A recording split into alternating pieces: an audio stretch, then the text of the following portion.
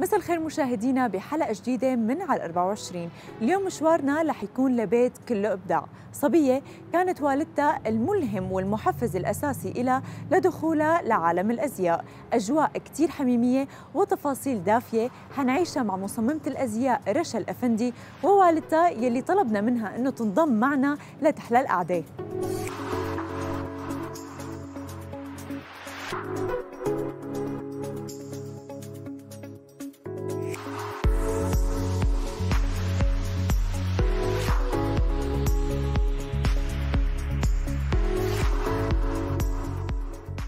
مرحبا كيفكم؟ أنا كثير سعيدة بوجودي معكم لليوم، بالبداية نبدأ مع رشا، أه تخبرينا وتعرفينا عن حالك؟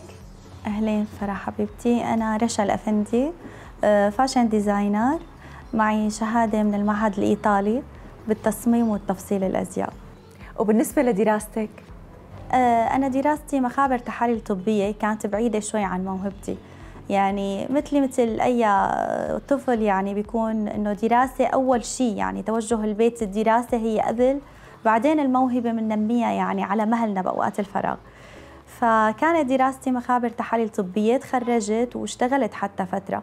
يعني ضمن هذا المش... الشيء كان ماشي معه موهبتي عم تكبر شوي شوي بشكل تدريجي كوني نشأت ببيت كلهم بخيتوا تيتي الله يرحمها وجده وحتى والدتي. فالمقص والخيطان والأدوات الخياطة دائما بين إيدينا يعني. نخلص دراسة فورا يعني بلتجئ لهدول الشغلات لملي وقتي وأتسلى فيهم. يعني ماميتك هي المحفز الأساسي لإلك. أكيد أكيد. مدام غالية تخبرينا عن دخولك لعالم الأزياء وكيف نقلتي خبرتك لبنتك رشا؟ والله أنا ربيت ببيت كمان خي... مجال الخياطة. أبي وأمي كمان خياطين بالبيت. من أنا صغيرة كمان تعلم يعني تعلمت منهم وكملت. وهي كانت صغيرة تتعلم تشوفني شو عم بخيط يعني هي صغيرة تخيط هيك تأخذ قطع قماش هيك تخيطها للعبة تشتغل. كان عمرها شي خمس سنين ست سنين. كل ما لا تتطور يعني حسيتها إنه كثير بتحب الشغل هيك ويعني حابة هالهواية. إيه نميت لها إياها وحبيت تستمر يعني وصرت تجيب لها قمايش إلا انت خيطيها لحالك انت يعني عملتوا شيء مشترك مع بعض؟ إيه دائما بعدين اشتغلنا سوا وقت كبرت. طبعا اشتغلنا سوا أنا وياها بالتفصيل وإذا في تطريز في شك في عروق في ورد الصناعي مثلا تقعد تشتغل هي طالعوا من الجرنان من الموديل من النت تساوي لي إياه يعني لسه أحلى من من الصور يطلع معها. كثير كثير يطلع مرتبهم بغض النظر عن كونها بنتك مدام خلينا نحكي بإنصاف. كيف شايفة شغلها لرشا اليوم؟ إيه لا أيام بتفاجئ في أيام. يعني هي بتشجعني كثير يعني. حتى هي لو القطعة كانت متوسطة أو عادية إنه كثير حلوة يعني. برافو عليكي. ممكن تعدلي وتطلع أحلى وأحلى يعني. سمعت إنك مو بس عم تعلمي بنتك رشا بل أيضا عم تعلمي أحفادك وتنقلي خبرتك الطويلة إيه؟ لهم كمان بيشوفني ابن ابني بالبيت بيشوفني عم بخيط بيركض بقى.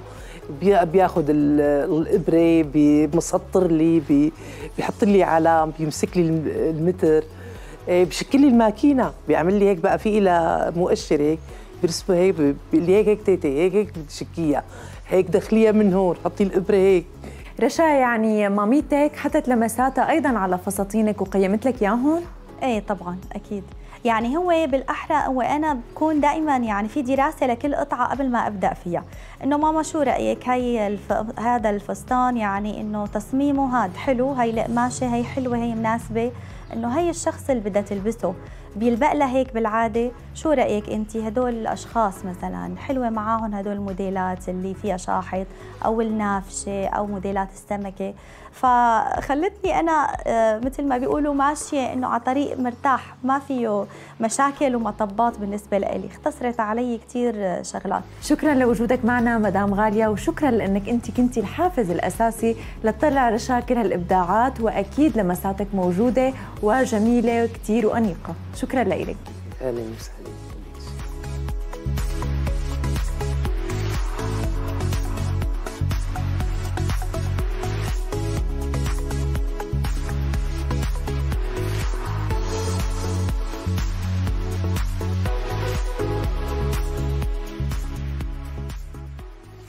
رشا خلينا نحكي هلا عن شغلك. من وين استوحيتي تصاميم فساتينك؟ تصاميمي بترجع لكل زبونة حسب شخصيتها. يعني في زبونة مثلا بيلبق لها الشغلات العريضة الواسعة وفي زبونة بيلبق لها الشيء الضيق آه، أو مثلا شكل القبة وشكل الكتاف آه، شكل الكمام. يعني كل زبون وحسب شخصيته بختار تصميم يناسب جسمه وشكله. طيب بالنسبة لبصمتك شو الشيء اللي بيميزك عن غيرك من ال fashion designer؟ قطعي كلياتها متميزة إنه بنظافة الشغل آه عندي نظافة القطعة هي من برا مثل جوا لازم تكون آه مرتبة آه ناعمة آه الموديل يبدأ من فوق آه ينتهى بنهاية الفستان بالتنورة بنعومة بشكل انسيابي. ويكون مريح للنظر يعني لما أشوفه ما أحس إنه فيه défaut أو فيه الطرف هيك مو حلو مو مريح للعين هيك. شو هي الألوان والنقشات الدارجة لهذا الفصل؟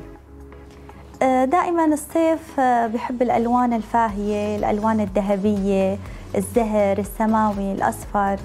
آه هذا الشيء ما بنشوفه بالشتاء.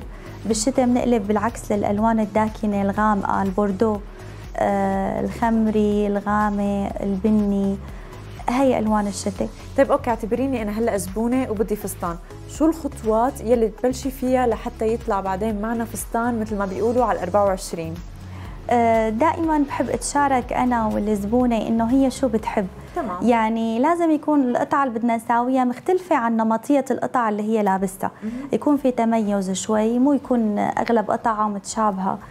آه وبنختار أنا وياها بنوصل أنا وياها لقرار معين وأنا برسم لها كذا تصميم وبقول لها إنه شو بتحب هي. بتتبعي خطوط الموضة بكل تصاميمك؟ هلأ الموضة نحن أكيد لازم نتبع الموضة يعني آه، حتى لأنه نحن عايشين بنفس هذا الوقت عم نساوي شيء يتبع هذا الوقت مو نساوي فستان يبين إنه عنا من الخزانة طلعناه ولبسناه هلا موضة تغيرت صارت آه، شكل الكم والقصات ترجع للستينات تقريبا بنفشة الكم بالخسر الضيق الخسر المقطوع. آه، هاي الشغلات رجعت تدرج مثل قبل مثل موديلات سعاد حسني. بالنسبة للمحجبات بنعرف إنه هن كثير صعب يختاروا الفساتين المناسبة لهم شو أبرز النصائح اللي بتقدمي لهم إياها؟ دائما فساتين المحجبات لما بتكون الأعراس مختلطة لازم تكون مصممة من الأصل إنه هي لهذا العرس. تمام. يعني أحيانا بتجيني زبونه بتقول لي أنا عندي فستان بس آه، إنه مثلا كمه قصير أو القبه مفتوحة فهو دائما لما نساويه ونضيف عليه إضافة بتطلع آه، مبينة إنه هي توصيلة يعني. لازم يكون من أصل تصميمه. أحيانا بيلبسوا الصبايا بدي بيلبسوا هيك يعني بيسيء للشكل العام للفستان. وين مكان عملك وكيف بتعرضي فساتينك؟ ببيتي كل آه، زبوناتي بستقبل زبوناتي طبعا بالأوقات الصباحية لما بكون فاضية. وفساتيني بعرضها آه، على النت أو على الملكان.